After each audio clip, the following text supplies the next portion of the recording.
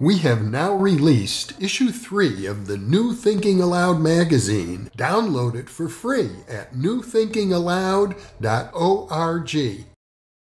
New Thinking Allowed is a non-profit endeavor. Your contributions to the New Thinking Allowed Foundation make a meaningful difference in our ability to produce new videos.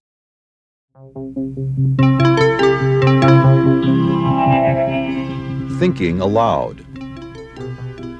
Conversations on the leading edge of knowledge and discovery with psychologist Jeffrey Mishlove.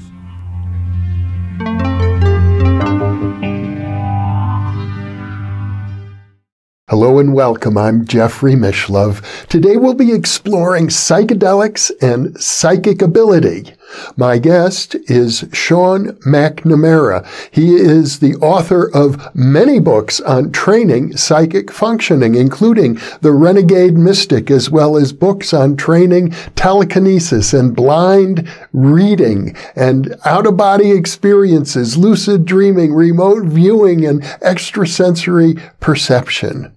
He's also written about UFOs and UAPs and the public reception of those ideas.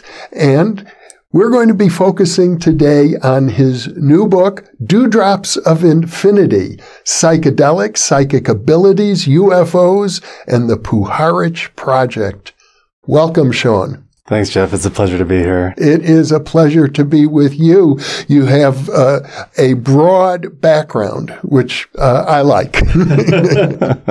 I have a broad background too, I think, and and to mix topics like uh, training psychic abilities and working with psychedelics. Let, let's start out a little bit with the the history of the exploration of psychic functioning and psychedelics. It goes back uh, well over half a century. What comes to mind for me is in places outside of the United States, in South America, Central America, and other places in the world, we know that native traditions, Aboriginal people have used psychedelics in some cases to expand their mind and to see things that are not normally visible to the human eye. And we could use the term shaman. In some cultures, the shaman uses psychedelics to access information. Um, so that's just one example of how this is nothing new for sure. It might seem new now because of the laws opening up in this country for psychedelics. Um, so there's more interest and more information available, but um, it's been around for a very, very long time. Well, amongst researchers in particular, you mentioned uh, Andrija Puharich, and the mm-hmm. title of your book. He's a, a well-known uh, neurosurgeon who worked at New York University, uh, well known in the field of parapsychology, but he also has a long history in the field of psychedelic research.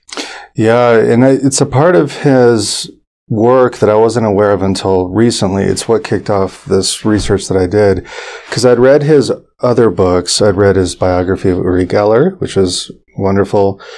And I read his book Beyond Telepathy. And that book, I used the information there to help with some remote viewing research I had done back in 2019 and 2020 to how, how we can stimulate the nervous system to make us more receptive. And I knew he had a book called The Sacred Mushroom, but I ignored it at the time. I just didn't have any interest in mushrooms or psychedelics at all. But then somehow I came across a video online and it was a replay of an old show from the 1960s called One Step Beyond. And in that video, it's sort of a documentary. It's a brief documentary talking where the cameraman followed him to Mexico, where he was in search of the psilocybin mushroom. And he meets with a local group of people there and finally meets someone who's willing to introduce him to the mushroom because it was a highly regarded secret. And so the first part of the doc- documentary talks about his trip there to Mexico. The second half shows him back in his home in California with the show host of One Step Beyond, John Newland, who becomes his subject. He f- gives John several dried mushrooms and puts him through a battery of ESP tests. And he had already tested him without the mushroom. But then to see how he performs under the influence, I thought, this is really exciting. This is very interesting. And I was kicking myself for not finding it sooner. it inspired me to go back and read his book, The Sacred Mushroom, which talks about his discovering um, Amanita muscaria in, I think it was in, on the East Coast. In Maine. In Maine. And the experiments he did with a couple of very psychic people there using Amanita muscaria.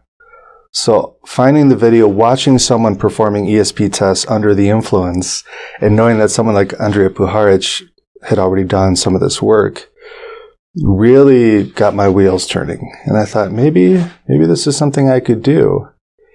And by then, some psychedelics were already decriminalized in Denver. And of course, now throughout Colorado, uh, they're legal. Many of them are, not all of them. That at the time I thought I, I'd be willing to take a risk and do some sort of a study applying what we know now about psychic functioning because since the 60s and 70s, the public has become more informed about things like remote viewing. The education that has come out of the remote viewing program for the public has improved tremendously. People understand what psychic functioning is, what its limits are, how to apply it. And that's something that wasn't widely available back in the 60s or 70s. But knowing what we know now, I thought, what kind of study could we do today with psychedelics to test ESP? Well, th- that program, One Step Beyond, is quite interesting because if I recall correctly, Puharich did the before and after tests that appear to be not super well controlled, but they look like legitimate ESP tests mm-hmm. with uh, the host John Newland. Mm-hmm. And uh, he said there's definitely an improvement here. The psilocybin seemed to show an improvement in his uh, ability to perform a clairvoyance test. Mm-hmm.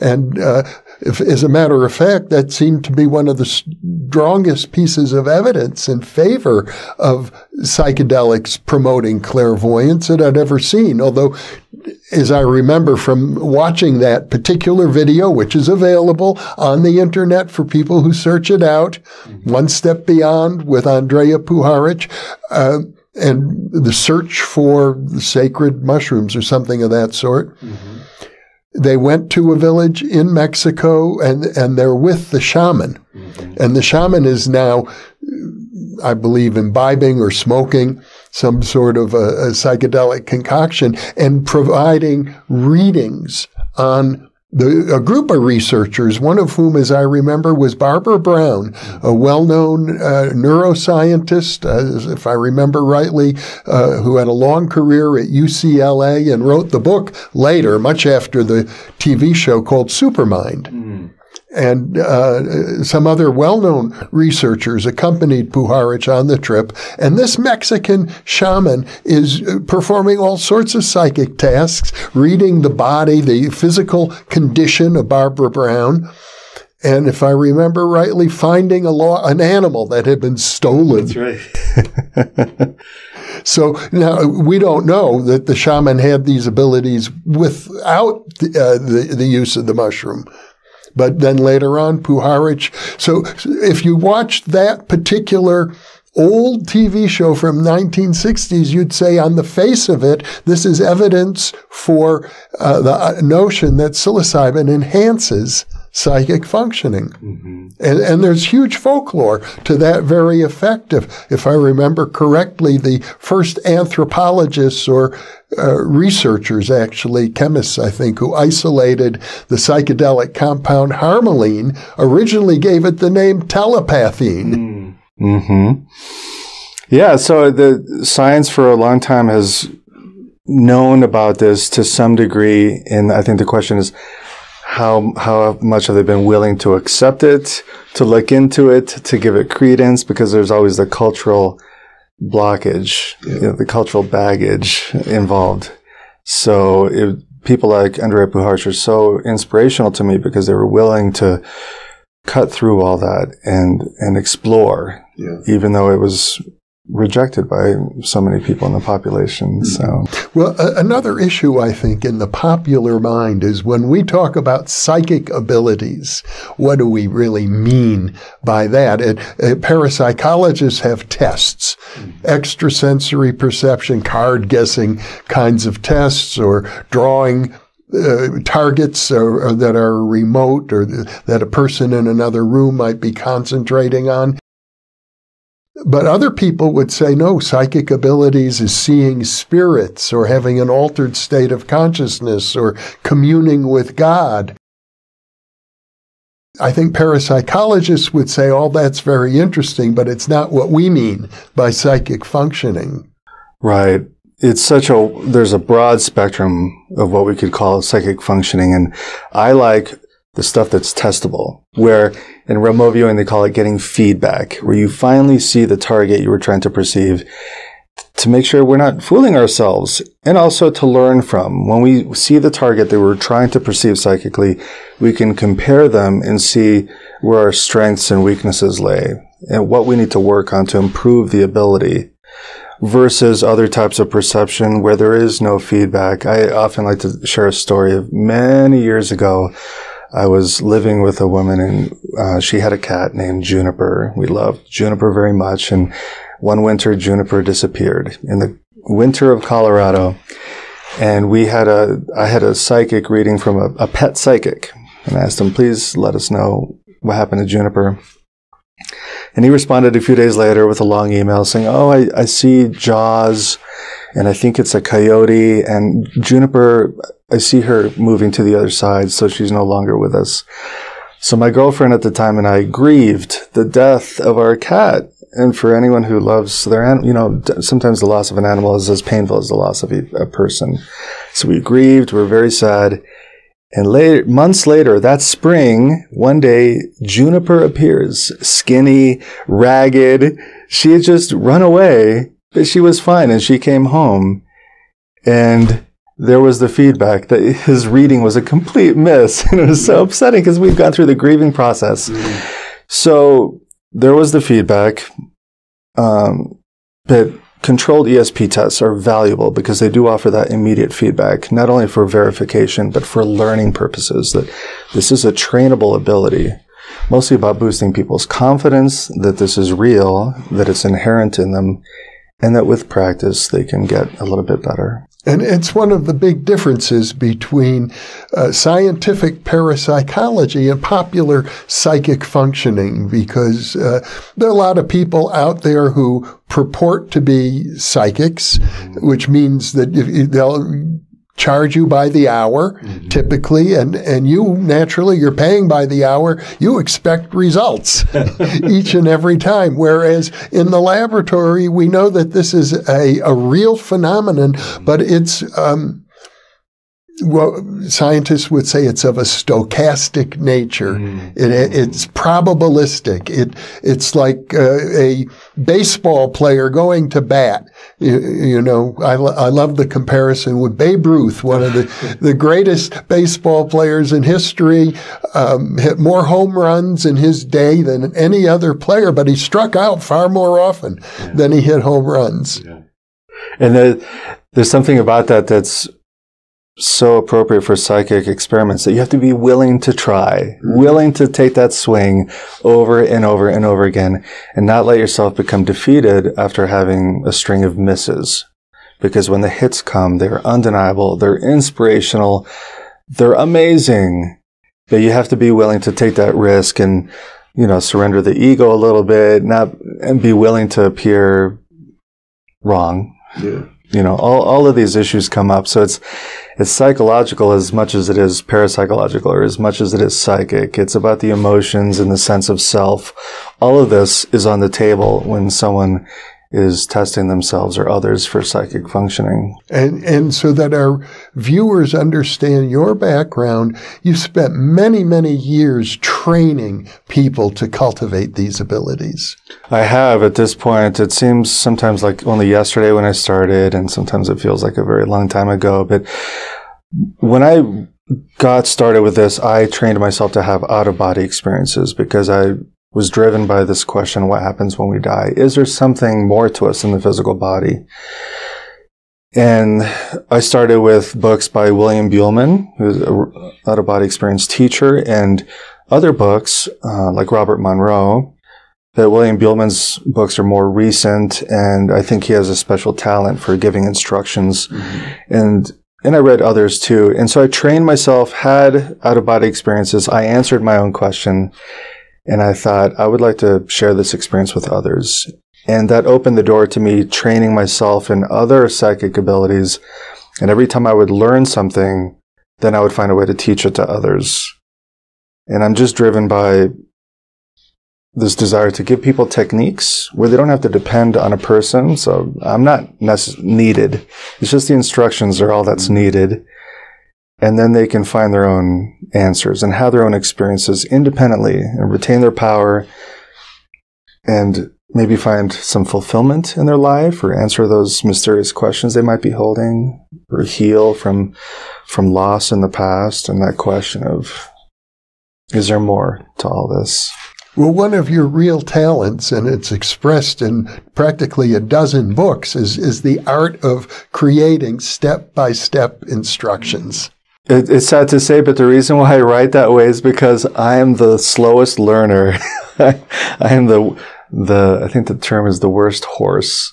so every time I train myself in one of these abilities, I had to work really, really hard. Some people are lucky. They're just born with natural talent or it takes them very little time and effort and suddenly they can do something psychically or otherwise.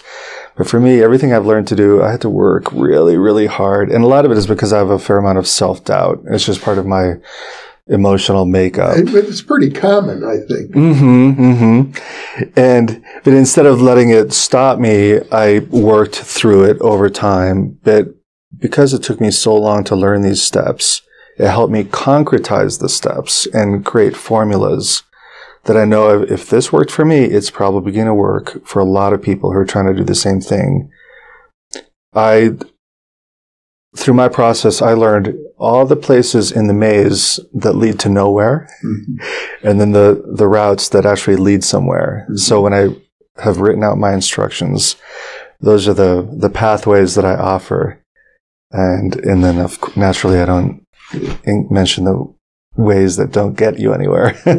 well, let's talk about psychedelics uh, some more. You live in the state of Colorado, and thank you for making the trip to Albuquerque.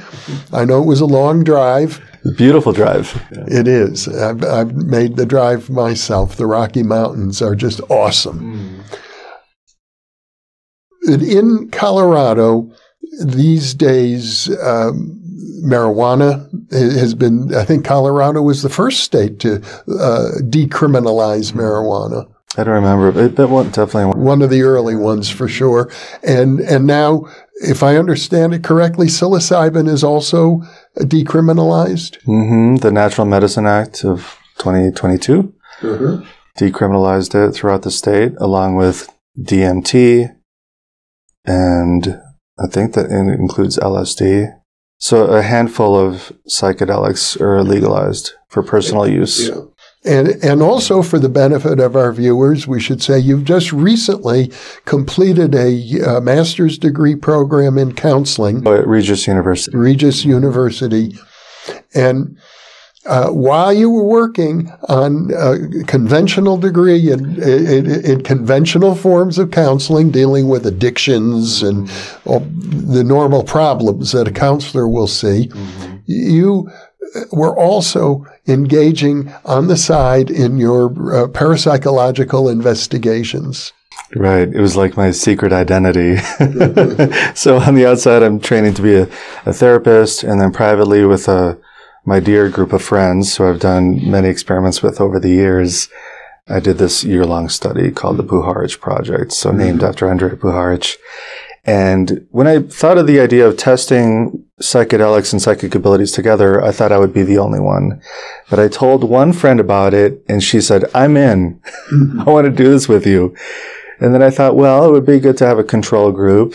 And so I invited these other friends who they were part of my experiments that I cover in my book, Signal and Noise, about remote viewing. And mm-hmm. that year we predicted the pick three lottery correctly a couple times. So some of those friends from that group, I invited them into the study, this new study with me. And so I and two of the people in the study became the experimental subjects. We would microdose psychedelics for six months. So we learned a lot from what we, having a control group with the microdosing, that was very revealing.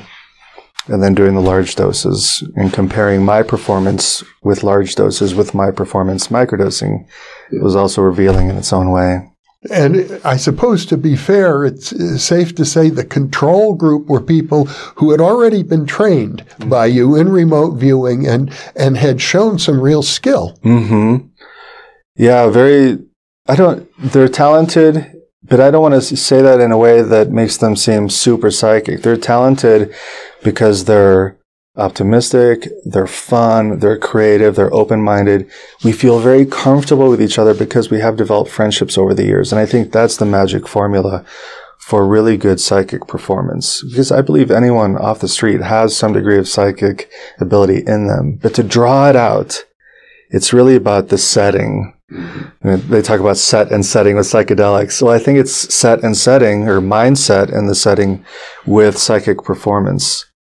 And in our case, um, I think we had that sweet spot because we, I think often the scientific approach can be too dry, especially with psychic abilities. You can, you can kill a psychic ability by being too controlling, by being too um, lifeless in the lab. It can just kill the spirit of it. But the way I structured this, people could take their tests at home. Some of it was self-scored, and I would score what couldn't be self-scored. Some of it was in a group situation. We did the telepathy tests over Zoom as a group. I'd be the sender. They were the receivers. But in a sense, we were all together. There was a very good community feel to the whole thing. So there was heart in the experiment and fun and nobody was wearing a white lab coat, you know, and nobody felt this pressure of people with clipboards standing there judging them immediately. So it was looser than that, but still, I believe, very well controlled. I hear from viewers all the time who tell me that uh, they watch this channel, New Thinking Allowed, regularly because it is their social support system. Mm. There is, in our materialistic culture, uh, a social support system is lacking. One woman wrote to me recently, 85 year old woman who's been having out of body experiences since she was a teenager. Mm. And she wrote about how she would tell her parents when she was young, and they said, Don't talk about it to anybody. And then she got older and had children, and she'd tell her children, and they would say, Don't talk about it to anybody. And so it strikes me that when it comes to set and setting, one of the most important things is simply to have a supportive social group around yourself. It's so true. And, and that one's family would shut it down. That's, that really has a strong negative effect. Or that you can't talk to your friends about it. That has a strong negative effect. Because we're conditioned as human beings to seek acceptance in our community. If we're rejected and cast out, a hundred thousand years ago, that equated to certain death. so we all seek acceptance by our social group. And so we have the option of either finding a different social group that accepts us or putting a lid on it and not telling people about these extraordinary experiences that we have, which can be a painful denial of self, of, yeah. of my personal truth. I'm being rejected. I'm being ostracized while I remain in my community. So for, for the person you just mentioned that her family, her parents, and now her children are both, you know, rejecting her experience, that, that can be incredibly painful. Yeah. Yeah. So we, in our small way on YouTube, provide a little bit of an antidote. It's one of the reasons I put up four to five videos every week to keep reinforcing the messages uh, that this is a real experience reported by, I don't know, 60, 70, 80% of the population. and, and yet it's still, after 150 years of solid research, mm-hmm. it's still a taboo topic. Mm-hmm. It's still taboo. So what you offer with your channel is a, in a way, a social service. Because when someone has been traumatized or ostracized, one of the most healing things that can happen for them is for someone to say, I believe you. I believe you. Those words have so much impact. In a sense, your videos and your channel is a way of telling people, we believe you because we've seen it. We've interviewed people who've experienced it. And you interview so many scientifically minded people and real researchers who have evidence. So it's not a faith based thing necessarily, but there is scientific evidence that these things are real. It is believable, which can be immensely healing when someone finds your channel. They can watch the videos and say, I'm not crazy. I'm not crazy. And for some people, that's really important to have that moment. Yeah, yeah. For a lot of our viewers, it is. So in your case, you had a control group of people who were already open uh, and doing fairly well in terms of uh, the clairvoyance uh, telepathic testing. Uh, did you find that the microdosing of uh, psychedelics uh, helped them in any way? Yeah, well, that's the big question that the book tries to answer. And so here's the spoiler alert. There was no significant difference in the performance between the people microdosing and those not microdosing. They all showed significant psychic ability. And I want to make sure that people understand that, that I'm not saying nobody was psychic. Everybody was, whether or not they were microdosing, and microdosing didn't really improve the performance of those people. For me, there was a side effect that I wasn't expecting. About a month, four to six weeks in, one day I woke up and I felt happy in a strange way. And I talked to my wife about it and I asked her, is this, this is how I'm feeling. Is this how regular people feel? And she said, I think so. I think that's normal. And I realized that I'd been fairly depressed most of my life and also carrying a burden of anxiety most of my life that had naturally lifted because I'd been microdosing psilocybin which of course anyone doing research online knows that that's a very common effect and maybe many people do microdose for those specific reasons to lift depression and anxiety. And some people do it to work with um, addiction depression other issues. And i wasn't looking for that but that was a side effect that that happened to me which was wonderful. The, there was a secondary effect to that though because before I began my study, at some point, something traumatic had happened to me. And I would sometimes find myself doing an ESP test with my eyes closed or wearing a blindfold. And I'd be in a medit- meditative, open state, receptive. And instead of seeing anything associated with the target, I would have an intrusive memory of that traumatic event. And I'd try and push it out of my mind and continue with the ESP test. And I would just have a string of misses because this intrusive memory kept coming back, which is common with, with trauma. Mm-hmm. But once I had been microdosing for a few weeks and that depression and anxiety had lifted, the intrusive memories also stopped, which helped me perform a little bit better, I believe. Even though on the scores there doesn't seem to be a change, my mind was just more open and the interruptions from the traumatic memory weren't happening anymore. So on one hand, there wasn't an improvement, but there was a there was a profound psychological improvement for me. I did speak with the two people, the two others who were microdosing, and they said, "Yeah, I don't think there was really a significant change for me." So it doesn't happen to everyone, but it did happen to me. Now, let's define for our viewers what you mean by microdosing. Yeah, there's uh, different information out there. So I think the way it's generally defined and the way I define it is that it's such a small amount. It's a fraction, maybe a tenth to a twentieth of a psychedelic amount. Uh, for example, with psychedelic mushrooms, it could be 0.05 grams. If a psychedelic dose would be one full gram. So a tiny fraction that when you take it, you do not have a significant shift in your consciousness or your awareness or your ability to move or anything like that. So you might have a slight shift in your mood, maybe a slightly boosted mood, but that's about the limit. Below that, you're microdosing. And it's that idea that the medicine is still having an effect on the brain, a healing effect, a transformative effect. And we know that psilocybin has something to do with the growth of new neuronal pathways in the brain, which can affect healing and the reduction of things like depression and anxiety. So perhaps we take it during the day, and at night we go into deep sleep and the brain grows. But we're not having a psychedelic experience, and we're not inebriated. We're not high in any way. Some people say microdosing can be a third of a gram or more. And I think that's really dangerous and inaccurate because depending on the potency of the mushroom powder, a third of a gram could be significantly psychedelic or it could be nothing if it's a very weak dose. So it's subjective. Every time someone begins to microdose, they have to be very careful, start low, and keep it below that level. Keep it sub perceptual. At least that's the way I, I see it for myself. Of course, I know there's been quite a bit of research in uh, Imperial College in London, at Johns Hopkins University. Now there's uh, something of a renaissance in research going on right now on psychedelics, and it's not particularly based on microdosing.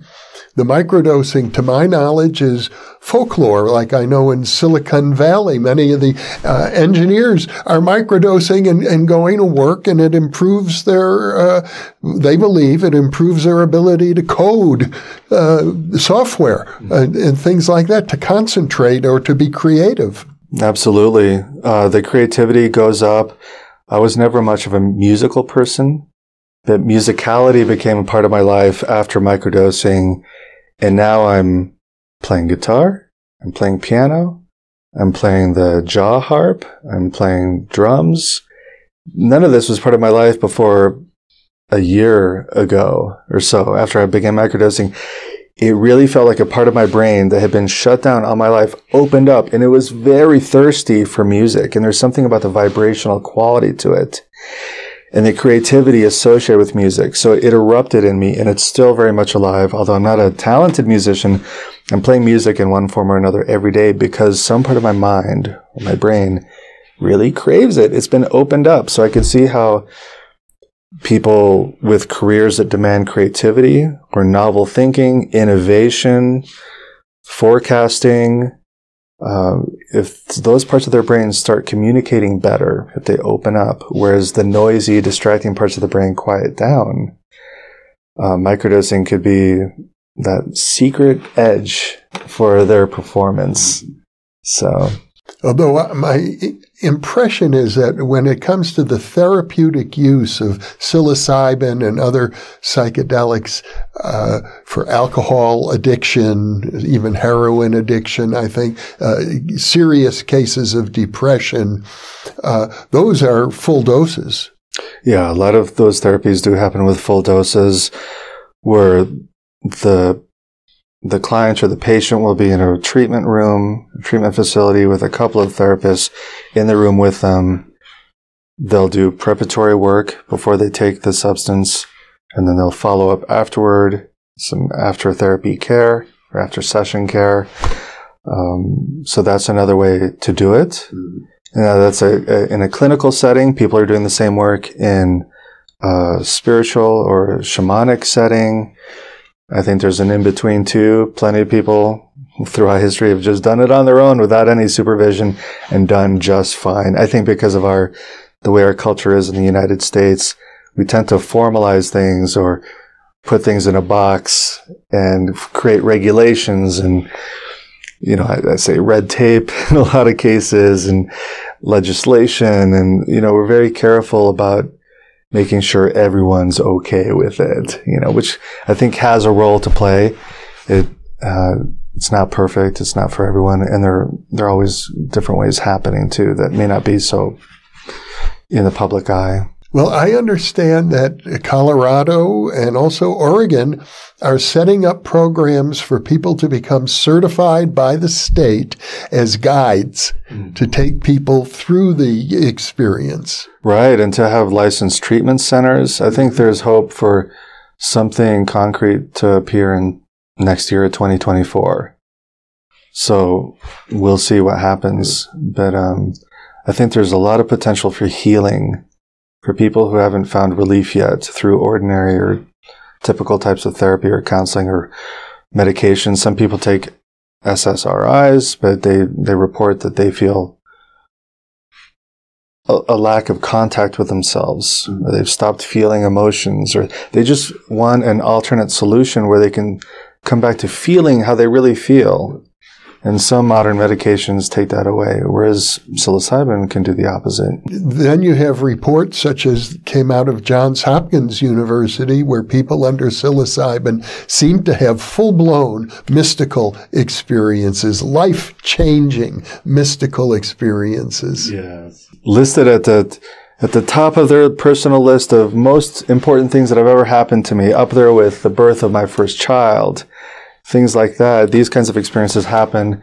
That happened to me when I did my ESP test using LSD. I've been meditating for decades.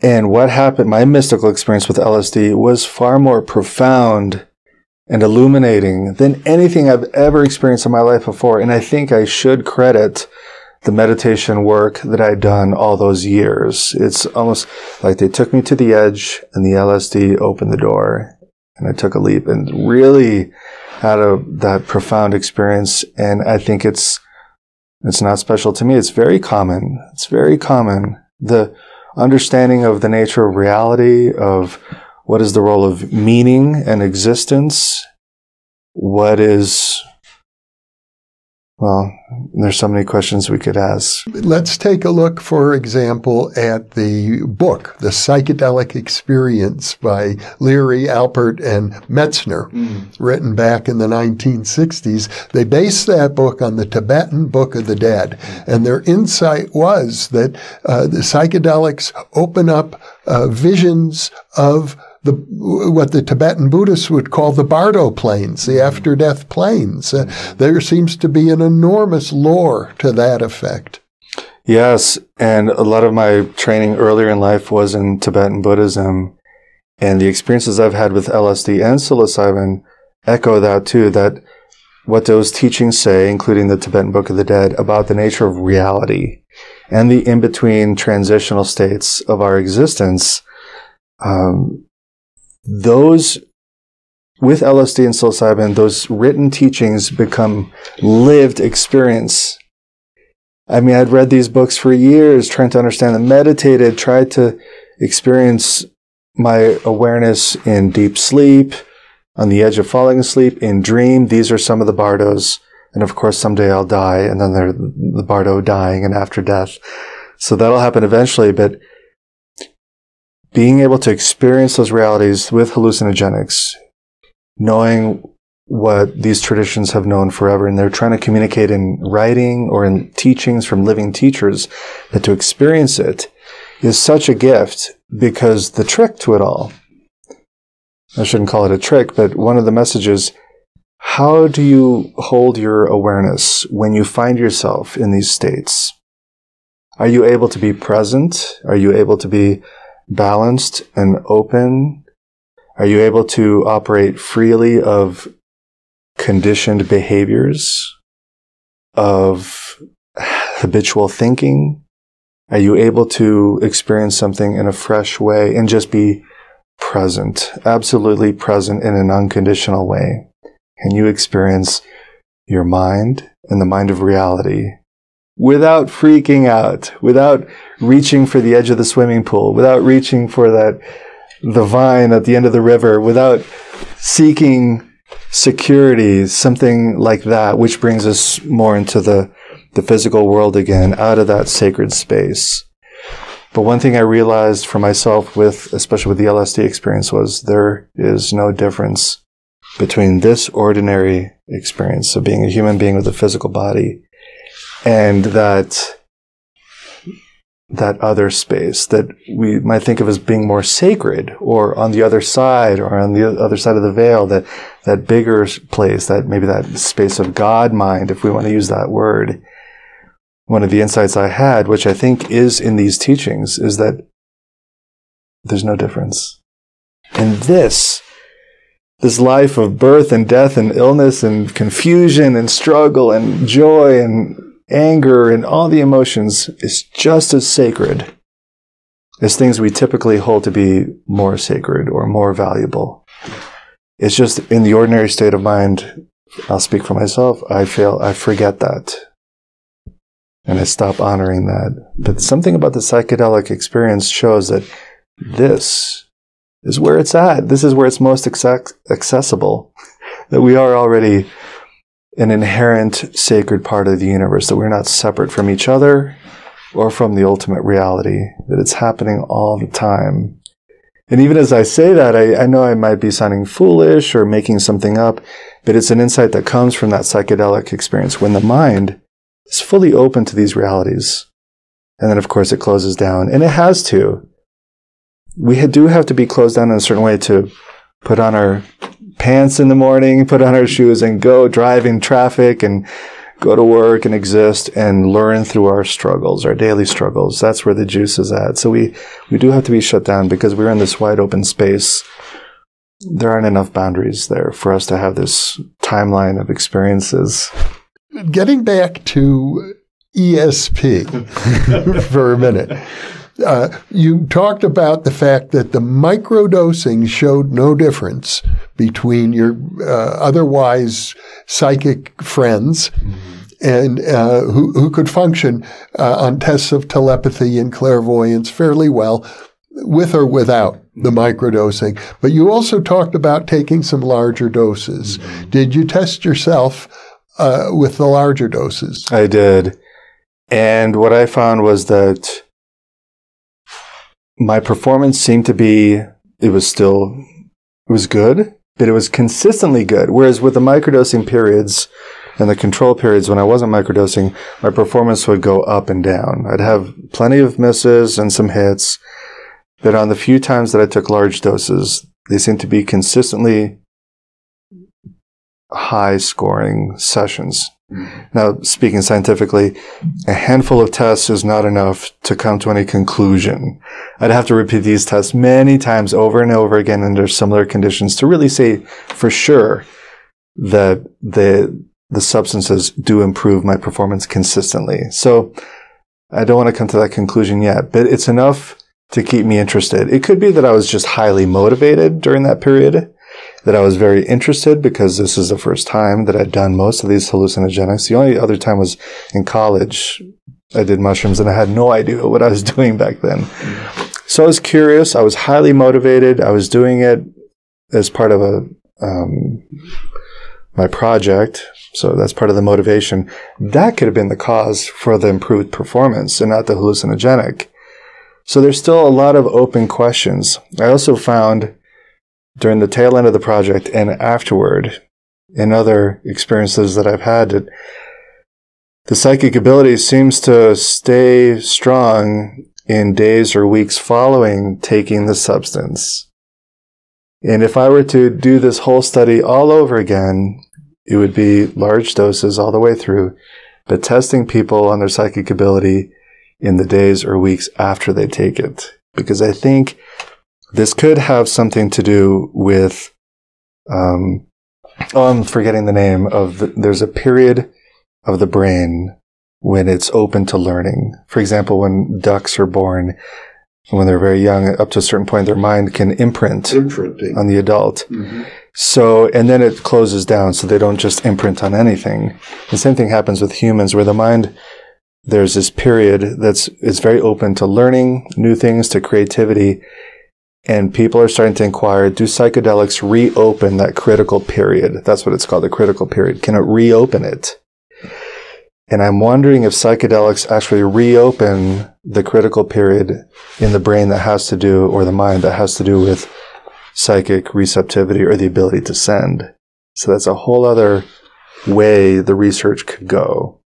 It can open critical period for learning new abilities like playing musical instruments for uh, well, for doing many other mental tasks, it, this, there's this brief opportunity to do things in a new way and go in that direction. So, well, one of the things that seems certainly true for most people is that when you're high on, on a full dose of a psychedelic, uh, taking an ESP test is probably the last thing you want to do. it was. It was terrible. I have video footage of myself doing these tests, and you can see the strain on my body and my emotional states because I did have some extreme states of. I recorded one laughing fit, which lasted about eight minutes, mm. but then some periods where I I cry, Uh, so the, they're the emotional ups and downs, but it really felt sometimes like I was wearing a 80 pound vest. There's that body load mm. sometimes and just trying to see, trying to sit at a table and trying to perceive psychically while these hallucinations are occurring. Of course, that's important because I, wa- I wondered if the psychic, excuse me, if the psychedelic images contained the psychic information maybe that would make me more psychic. And I realized, nope. In some cases, there was a little bit of psychic information there.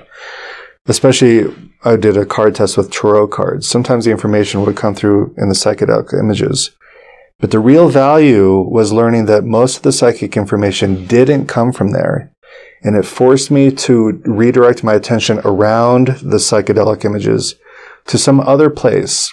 It's as if I had to look around my brain so the psychedelic imagery was forming a boundary for me to help me know where to point my attention to receive the psychic information. Mm-hmm. So in a way, it's just saying, don't look over here, look over here, which is really, really valuable because I think the same thing happens when people, for instance, do remote viewing. With practice, they learn to discern what is what's called analytical overlay. When we're trying to name or put nouns to what we're, you know, we're trying to guess the answer. And that's just all left brain thinking. We need to stick with the raw information, the irrational stuff. So how to discern one from the other, where to look within ourselves for that raw psychic data. And so the hallucinogenics help me learn how to use my mind that way. And of course, I realized at the end, there's many ways to do that. You don't have to do hallucinogenics to learn this. Meditation does the very same thing. We sit quietly and watch our minds. We see so much noise. And when we learn to identify the noise from the signal better, then that's all that's needed. Well, it comes down to, uh, I suppose, be, for us to progress, we need to have a good theory of the mind brain interface. And uh, one theory, of course, that uh, parapsychologists love is William James' notion that the brain isn't the producer of consciousness. It's just the, almost the opposite. It's a filter. It reduces consciousness that comes from the realm of consciousness. And if that if we were aware of everything all at once, as is reported in uh, the experience known as cosmic consciousness, you can't function at, at, all. So the brain protects us from having conscious cosmic consciousness all the time. And, and one sees that uh, there's quite a bit of new research now in psychedelics suggesting that in the intense experience of a psilocybin high, for example, the brain is quiet. The reducing valve is uh, opened because it's not working. Mm-hmm. And so more of that uh, material from the realm of consciousness comes in. Now, there are other ways of looking at it. There's the idea that maybe there's an organ of psychic awareness somewhere in the brain. Mm-hmm. If we can just identify that organ and activate it, then that would improve psychic functioning. And for all I know, maybe both are true. Right.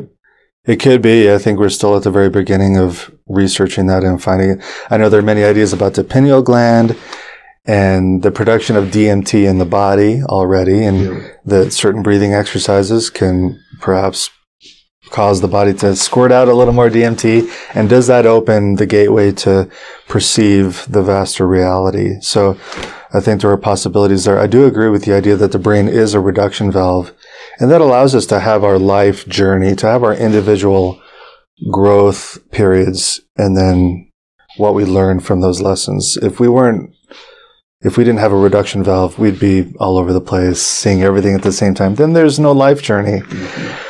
I I often think of this episode I saw the Hollywood Medium with Tyler Henry. Is this wonderful medium, mm-hmm. and I think this is on Amazon Prime or something. But in the very last episode of the series, they put on a, a headset on him while he did a mediumship reading on on someone and they saw what you just talked about that his brain became very quiet.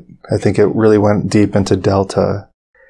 And of course, Tyler Henry's very accurate. He's a great, great medium. And just to see what happens in his brain. And of course, there's a whole, I think he sweats a lot. There are other physiological things that happen to him. So it's, it's not simple. It's, it's complex, but it's physiological as well as non-physical, that there is the interaction between the physical brain and this larger non-physical mind or consciousness. Now, as part of your journey, you also experimented with DMT, which many people regard as the most powerful of the psychedelic substances. And as you pointed out, one that's naturally produced in not only the human body, but in the body of most uh, animals and I think many, many plants as well. Yeah, it's everywhere. And what is its purpose? I think I, I haven't looked into really why why is it found everywhere. I really just went into well, it's legal now in Colorado. How can I get some? I've heard it's really powerful, and I just took a chance. So I um, I learned how to extract it myself from the Mimosa hostilis root, which you can order legally, and just using some chemicals over a few days, you can easily produce some crystals. And then with my help's wife, we did a telepathy test, or we, we tried.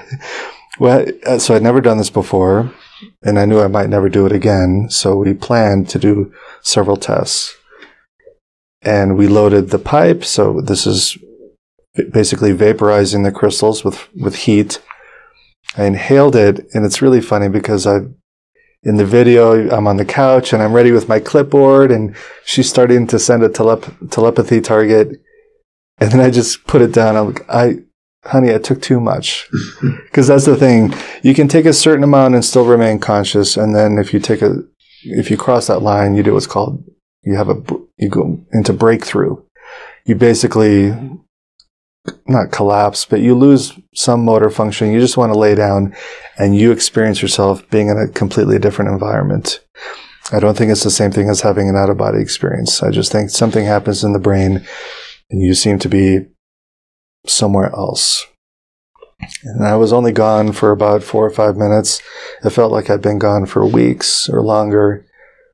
And I started to come back um, for a few moments or a minute or so. I was looking at my wife and I couldn't tell if that was me or if that plant was me or where do where does me and everything else end? Where, where's that boundary? I couldn't find the boundary.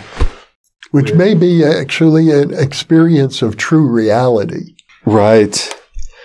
Absolutely. I mean, going back to the notion of the brain as filter, I remember Jill Bolte Taylor hearing her lecture on, it's titled My Stroke of Insight. So she describes her experience having a stroke yeah.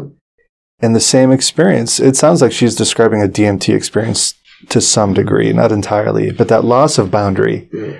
Th- there really is no separation between you and me and these beautiful flowers that we're all, there's a sense of oneness there. And the division is artificially produced in the brain.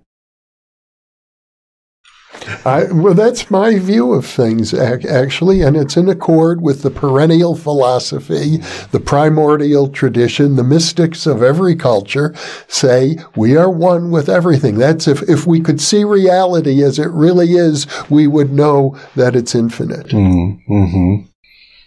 In such peace. Yeah, yeah. So, in any case, there you are on DMT. and I'm crashed out on the couch, and my wife is waiting patiently for me to come back. And I come back, and eventually the boundaries return. And then I waited about 20 minutes, and I was completely back to normal. Thanking, thanking the world that my brain could put it back, put itself back together into complete normalcy. Yeah. And then we did a telepathy test. And I think it may be the best test that I did during that period of time. And it's important to note that I didn't do it while I was hallucinating on DMT. There's no way I could have done it. At a certain point, I did try during the tail end of my experience, but I realized that there was so much, um, I was all the sensory input was getting confused. Sounds and sights and flavors and synesthesia basically was occurring. So there was a lot of confused experience happening in me. And I realized that if a psychic impression were to come in, it could also be confused. So it was hard to discern anything psychic from whatever else was happening in my mixed up mind. So that's why I waited 20 minutes till I was fully back to myself. But then to have an exquisite telepathy session. I mean, it was extraordinary. It was this, the target was an owl and my wife had set, chosen her own targets. I had no previous knowledge of the targets she had chosen throughout the study. And the first thing I drew was two circles. And if you take that paper and overlay it with the target, it was almost the same size as one of the eyes of the owl. Mm. And then I drew other shapes that, if you combine them, were very similar to the shape of the owl. I mean, the details aren't that important about the target itself, but just that um, that my mind could be blown into a million pieces during the DMT experience. The the filter was turned off, the boundaries disappeared, and then it's reconstructed. It's almost like a, a reboot of the brain. And then I can still access psychic information perhaps better than any other time. Now, you use the word synesthesia. We've done many programs on the New Thinking Allowed channel about synesthesia and its importance in uh, parapsychology. But I know many of our viewers won't understand what the term is. So could you define it? Sure. It's when the sense perceptions become confused. So you could see a sound or if you could hear a color and sometimes these things happen at the same time and it's for me it was garbled and muted. It wasn't very obvious. Uh, a smell could have a color to it. Emotions could have color or a sound could produce certain specific emotions. So the part of the brain that normally puts everything together nice and orderly that combines all the senses to form a unified experience something happens there and the wires get crossed and which I think is also part of that unified experience that they're not separate in the end. It's all, I mean, I don't like using this term very much, but it's all a series of vibrations mm-hmm. to, to some degree. Maybe there's more, something more fundamental than that, but the way it arises, the way it manifests is through these interwoven vibrations, creating experience. Well, in summary, Sean, how would you characterize the relationship between psychedelics and psychic ability? They both reveal that reality itself is boundless, is borderless, is unified, that we are expressions of it, and at the same time, we can be co producers of experience. But also that when we have these limitations, maybe we might feel like we're not psychic at all. That doesn't take away from the value of our ordinary human life. But if we never experience a psychedelic, that's okay because in a sense, psychedelia is all around anytime we see a pattern. And I think anyone who's been on a journey will agree to this, that the pattern of flower petals and the beautiful artwork that humans for thousands of years or longer have produced, even like the carpet here, is psychedelic in itself. Something in us is already connected to the psychedelic world, the world of pattern, color, rhythm and music. It's inherent in us. We are imbued with that beauty, this beautiful artistic nature of, of life itself. It's in us already, and we don't have to take hallucinogenics to experience it. We can pick up a set of color pencils and a piece of paper, and it's in us. We can play some music, and just to enjoy music itself is a psychedelic experience, I think, and a, an experience of unity with reality. But with regard to psychic functioning in particular, the impression I get is that uh, the worldview that is opened up the metaphysical view that psychedelics uh, awaken in people uh, may be the factor that triggers long-term psychic functioning even after the effects of the drug are, are gone. Absolutely. They could be the the key that opens the door to eternity, to use the title of Andrija Puharich's book, The Sacred Mushroom. Yeah. Um, they could unlock something. And I think many people throughout history will agree that yes, mm-hmm. these are tools with amazing capacities. And sometimes you only have to do them one, once or twice and the door is open. Because I think in general, uh, there's very little actual research. You did this on your own. If, if you had tried to get an institution to sponsor your, your research, it probably wouldn't have happened because of safety factors right. and, and, institutional review boards and, and the like. Uh, so there's been very little research uh, actually testing people while they're under the influence of these drugs. But to my knowledge, like it's not complete, but my knowledge uh, seems to be that the research overall suggests that these drugs do not enhance psychic ability. But you're giving me a whole new way of thinking about it. I, am glad because I think it's a complicated thing. It's not so simple to say yes or no on the matter, but there's so many doorways that we could pass through to inquire about consciousness itself and its relationship to the physical brain and what happens with the inclusion of psychedelics when we open some of these pathways up. So some scientists may say, thanks, Sean, for doing the study. We don't have to do it now. You, you seem to answer this question. It doesn't increase abilities. But I think it does ask a lot of other questions that are worth pursuing over time for anyone who has the means to do it. Mm-hmm. Well, Sean McNamara uh, has been a fascinating conversation, very revealing of some of the nuances that get overlooked in the scientific publications of uh, this material. Uh, the conversational format, I think, works excellently for uh, this topic, and I'm delighted that you're here with me in Albuquerque that we can have a few more conversations before you go. So thank you so much for being with me. Yeah, thanks for having me. It's been great so far. Yeah. And for those of you listening or watching, thank you for being with us. You are the reason that we are here.